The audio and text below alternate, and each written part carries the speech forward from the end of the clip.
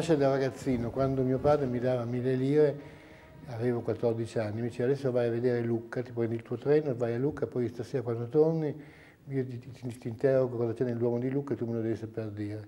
Io per cui stranamente quando avevo 15 anni conoscevo l'Italia del Nord dal punto di storia dell'arte benissimo. Poi c'è stato da decidere nel liceo che cosa fare all'università e lì ho fatto il geologo. Poi ho capito che la geologia era molto divertente come, dal punto di vista scientifico, ma però era una vita troppo difficile, troppo, troppo faticosa. Quindi sono tornato a Parma e ho cominciato per utilizzare la mia, la mia cultura artistica, diciamo, ad aprire uno studio di grafica.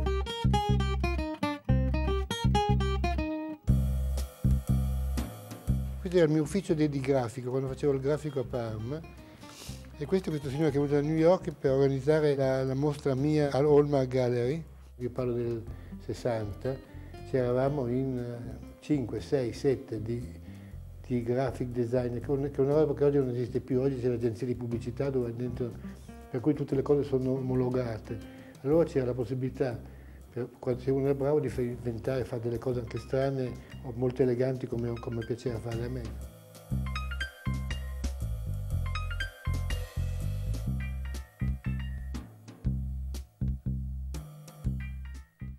Quindi ho cominciato questa mia carriera di graphic designer, per cui ho, fatto, ho disegnato i marchi di mezzo mondo in Italia c'è la SMEG, l'Italia, Banca Manusardi, Visconteum, la Camera di Commercio, la SCIC. Poi la SMEG ci ho fatto tutta una campagna anche pubblicitaria. In quel momento stava nascendo la pop art in America. Avevo cominciato ad andare a New York spesso e tornavo con gli occhi pieni di pop art perché ero diventato amico di Rauschenberg, di, di Andy Warhol, tutti i miei amici che erano di questo mondo qui, che anche loro venivano dalla grafica poi perché Andy Warhol aveva un'agenzia di pubblicità praticamente. Ho imparato da loro l'idea che un, che un oggetto, il più banale, se fatto con eleganza e con sottigliezza, diventa un'opera d'arte. L'Italia, per esempio, ho lavorato per so, dieci anni facendo, inventando questa storia dei biglietti, allora, perché allora adesso i biglietti è tutto elettronico, ora non c'è più niente, ma allora i biglietti erano fisicamente dei biglietti. Per cui ho avuto l'idea di fare dei biglietti sempre uno diverso dall'altro che la gente potesse collezionarli come facevano i calciatori di panini.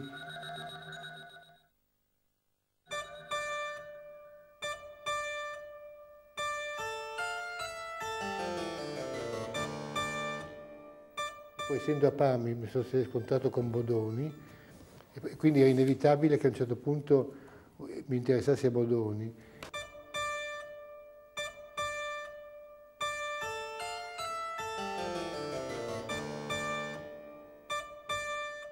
La Russia non ha mai avuto dei caratteri così belli, tant'è che Caterina II ha cercato di comprare dal duca di Parma tutta la stamperia di Bodoni, tutti i caratteri di Bodoni, aveva capito che la più grande stamperia del mondo era quella, insomma.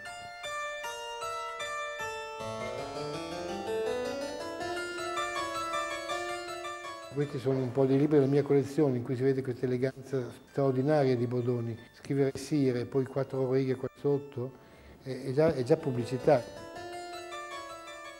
Da Bodoni ho deciso che io devo diventare un editore e riutilizzare i caratteri di Bodoni, lo spirito di Bodoni, cioè il neoclassicismo che è sempre stata la mia passione nell'arte, però in termini tipografici. Quindi ho cominciato a fare l'editore.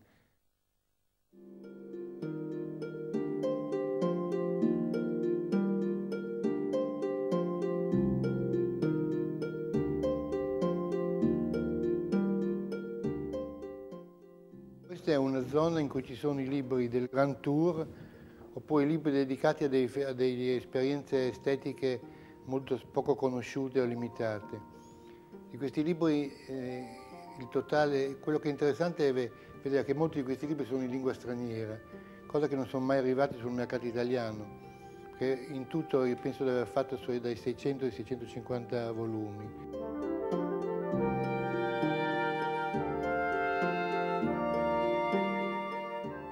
Accanto ai libri è nata anche questa avventura di Efemera, che poi è diventata l'attività più importante della casa editrice, perché, perché un conto sono dei libri numerati a, a mille copie che, che, comprano i bibliofili, mentre invece il tema di Efemera era di portare la grafica ad altissimo livello, la fotografia ad altissimo livello, i test ad altissimo livello e facendo vedere delle cose mai viste.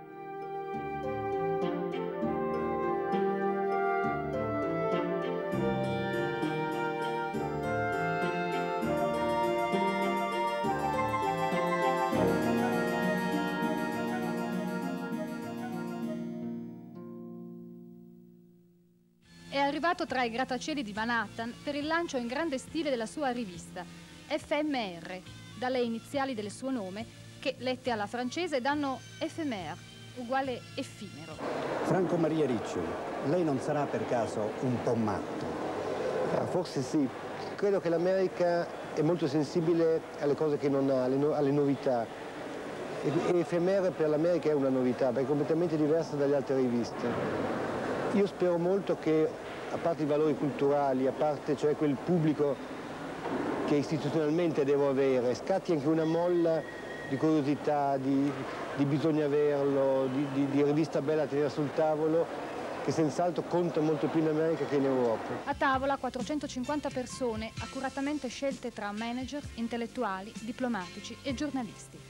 E tutti ad ammirare l'ennesimo prodigio del Made in Italy, questa volta ammantato di cultura.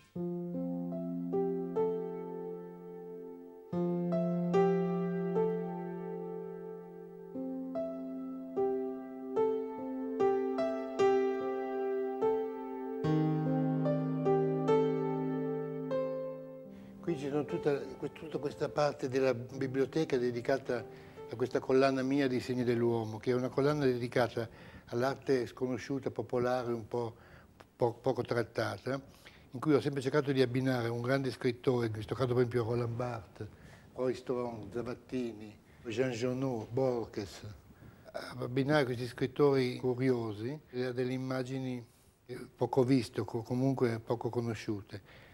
La caratteristica poi del, del libro è che è stampato su carta di Fabriano azzurra, per cui non, non si potrebbe stampare colori su questa carta.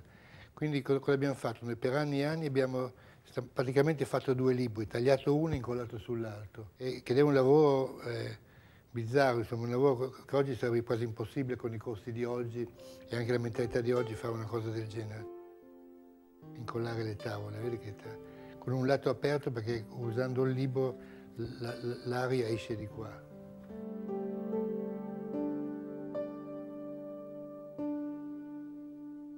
bienvenue pour cette émission de Plaisir de France qui est consacrée à Franco Maria Ricci.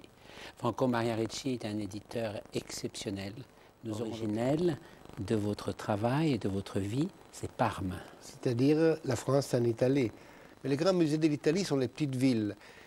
l'Italie est un musée en plein air. Cento, par exemple, qui est un petit patelin à côté de, entre Bologne et Ferrara. Je trouve y a des choses fantastiques, une chapelle décorée par Guercino, des, sculptures très belles du, du 19e siècle.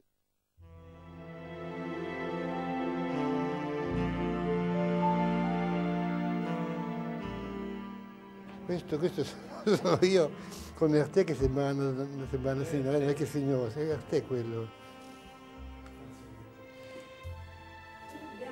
Questo qui invece è completo col battistero, col...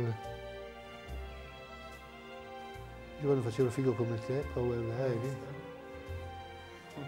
mi sembra un rock, un Rolling Stone, sembra, no? Mi sono fatto tagliare i capelli per andare dal Papa. Che è l'ambasciatore di Francia questo.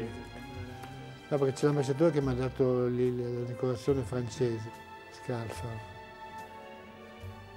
E questo è quando ero giovinetto che piaceva Jacqueline Kennedy.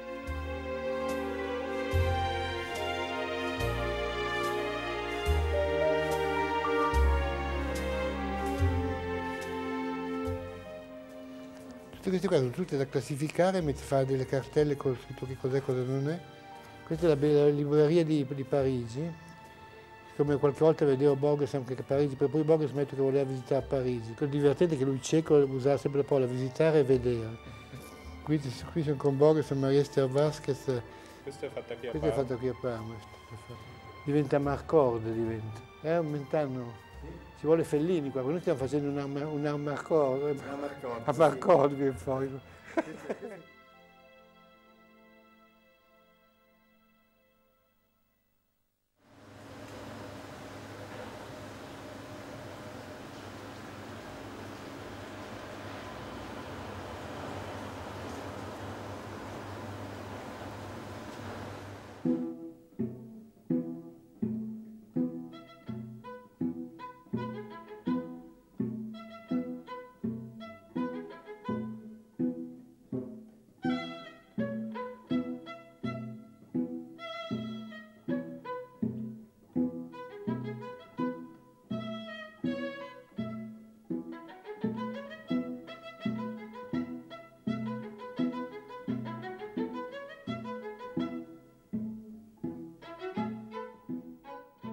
Collezione che ormai ha già 450 opere è nata dal niente, è nata comprando, comprando delle opere d'arte legate ai libri che io facevo in quel momento.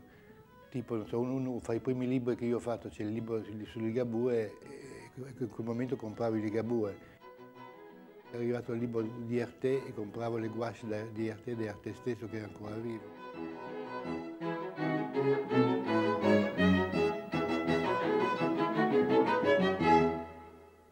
Lavorato cinque anni a fare l'enciclopedia di Diderot d'Alembert e da, e da, quel, da quell'esperienza sono nati tutti, soprattutto la mia collezione di scultura francese dell'epoca della rivoluzione, un po', un po', prima della rivoluzione, cioè un gruppo folto di, di scultori francesi che utilizzavano la, la, la, terracotta, mentre invece in Italia era tutto marmo, perché noi avevamo le cave di marmo facili, mentre la Francia non le aveva, per cui la Francia lavorava con la, con la terracotta.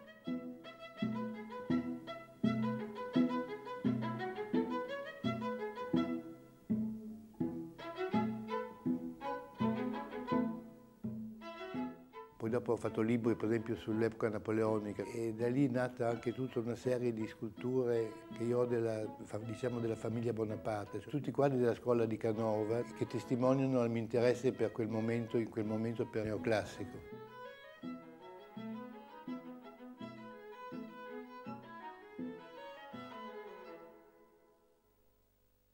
A me piace lavorare solo, non in ufficio con la gente, ho bisogno di solitudine per lavorare e quindi mi, mi fanno compagnia questi guarda che mi, che mi guardano.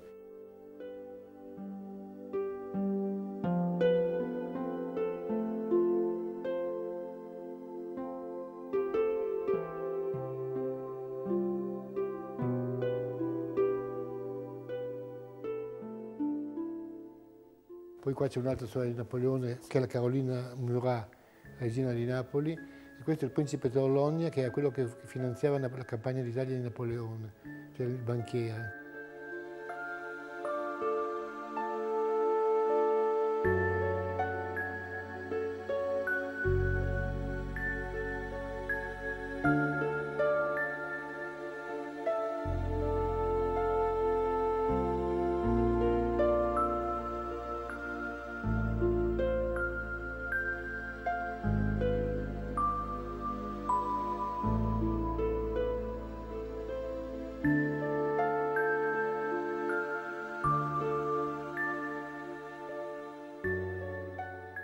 Poi altri acquisti sono nati così per caso, perché magari passeggiando per una via, che so io, di Parigi o di Roma, vedevo da un antiquario, anche di quelli piccoli, delle cose che a me piacevano e ho cercato di comprare.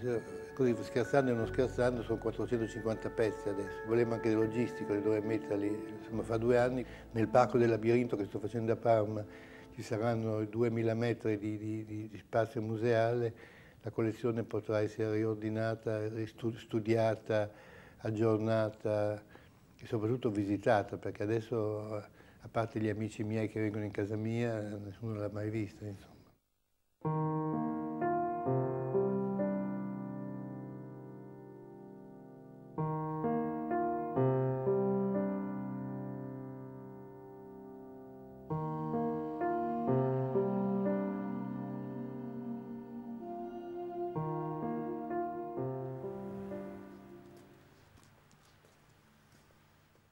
L'idea del labirinto è un'idea che per me è nata, non so, 40 anni fa senz'altro, ma anche da piccolo bambino io giocavo ai labirinti sulle parole enigmistiche, le parole incrociate, le settimane enigmistiche.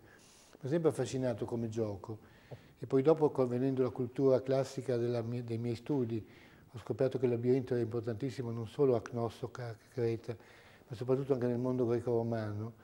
Tanto è vero che moltissimi dei mosaici belli hanno come tema il labirinto, il minotauro, anche lì il Minotauro visto da, da destra e da sinistra se il Minotauro era una vittima, se il Minotauro era un, era un cattivo. Tutto questo mito del labirinto passa poi in epoca medievale nel mondo cattolico, perché non è più un, un tema mitologico come era nell'antica Grecia, ma più che altro il, il percorso per perdersi e ritrovarsi in Dio.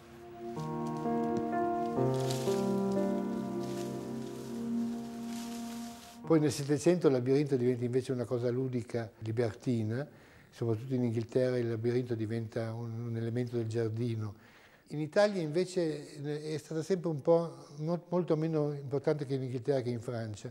In Italia, bene o male, si è sempre, sempre mantenuto, anche nel disegno, quello classico, cioè quello greco-romano, cioè per cui c'era un percorso, a volte era solamente un percorso in cui non si perdeva, ed è il labirinto classico, a volte quello che gli inglesi chiamano maze, è il labirinto con delle trappole, dei cul-de-sac, dove uno, uno costretto a tornare indietro perdendosi.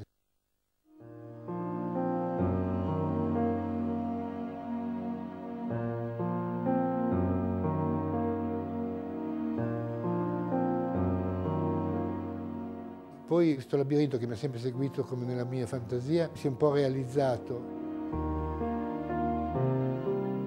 Il progetto del labirinto è cominciato cinque anni fa. Il disegno viene, viene, dal mondo romano e questa parte qui è stata fatta all'epoca insieme a un giovane, giovanissimo architetto di Torino, si chiama Davide Dutto, per la parte costruttiva, che qui vedete in pianta, che sono il museo, il ristorante, il bookshop, eh, la cappella, perché per me il simbolo della, della, cristianità in un labirinto ci deve essere sempre. Poi qua tutto una grande arcata per fare le feste, per fare la musica. C'è una parte tra ludico e culturale, ma in cui il ludico è anche culturale. Insomma. Allora, tutta questa parte invece che, stiamo, che dobbiamo costruire, che cominceremo a mesi, è invece stata fatta da me insieme a, a, a Bontempi, a Piercarlo Bontempi, che è un, un architetto giovane di Parma che ama anche lui il neoclassicismo e che usa il mattone a vista come piace a me. Siamo tutti e due, abbiamo deciso che andava fatto come se fossimo degli architetti della rivoluzione francese. Le due caratteristiche però di questo, di questo labirinto, che lo, che lo, fa ad essere unico o, oggi, perché poi magari domani ce ne saranno chissà quanti al mondo, è di essere grandissimo, cioè la superficie è di 8 ettari, il percorso è di, di 3 chilometri, dal punto di vista botanico deve aver abbandonato il bosso, quello tradizionale, ma è fatto di bambù. Il bambù arriverà a 5 metri, perché è un tipo di bambù esattamente scelto per questo. Deve arrivare a 5 metri, si piegheranno inevitabilmente e formeranno delle gallerie. Quindi il bello è percorrere 3 km in galleria, una galleria in cui si muove col vento. È adorato dagli uccelli questo labirinto.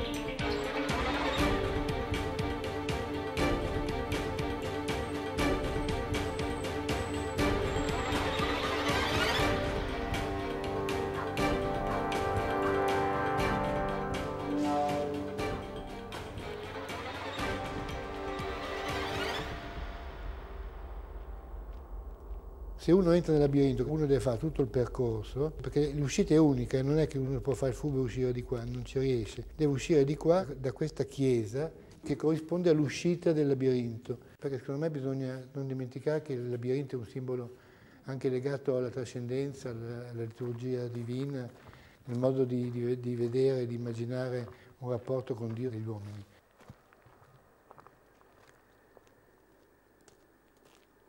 Ci sarà un parcheggio, poi si entra. In questo spazio c'è un 1500 metri di museo dove ci sarà la mia collezione d'arte, ci sarà quindi un ristorante, un bar, un, un, bookshop in cui in parte saranno libri, si venderanno, ma in parte anche culatelli, cioè uno potrà scegliere secondo la propria, la propria, la propria passione se comprare un culatello o se comprare un mio libro. Ed era molto mh, strano girare per l'Italia con Borges, perché in un certo senso la gente normale è come se vedesse la Madonna di Loreto, insomma lo toccava, lo, lo, lo, baciava, gli baciavano le mani, la gente normale, gente che non ha mai letto Borges, c'era questo mito di Borges in Italia fantastico, con Borges è nata questa amicizia che poi è durata fino alla morte, poi mi ha portato su in alto sopra un cunicolo della Biblioteca Nazionale finché c'è un balconcino, lui cieco mi ha detto lei vede, poi usa sempre il verbo, il verbo vedere, no? Cioè vede che qui sotto questa è la sala di lettura che entra la luce di qua, così. Questo è il mio labirinto, io sono il Minotauro. E, so, e mi fa piacere che lei sia venuto in certezza a liberarmi. Borges, che ha passato un mese qua in questa campagna dove adesso sto facendo il labirinto, parlando di labirinti, mi disse un giorno, guarda, so, so che tu vuoi fare un labirinto, piacerebbe, oh, che lindo, che lindo il labirinto, facciamo il labirinto, facciamo il labirinto, eh, e, e però, però mi dice, ricordi che non, non puoi essere il primo, io ho detto, ma mi basta essere anche il secondo, secondo la mia, secondo la mia teoria, perché il primo chi è? Io detto, il primo è il deserto. È bello no? dire che il deserto in realtà è il più grande labirinto del mondo. No?